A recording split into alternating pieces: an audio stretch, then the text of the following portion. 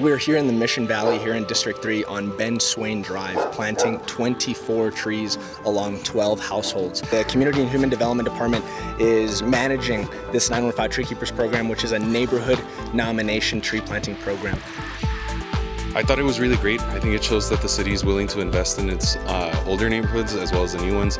Um, there's a lot of new housing development, a lot of new housing construction, and this neighborhood isn't that. And it's nice that, the, that we're getting the attention from the city.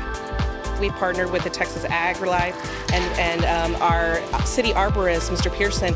They sat with the homeowners and, and they taught them this is how you care for a tree, this is how much water it needs, this is how big of an area you need to water. Maybe if we planted at least just one tree, it would help not only for our, to, for our homes to look nice, but for the environment.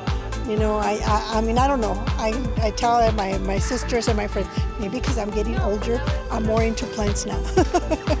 so I'm very excited to get my, my trees.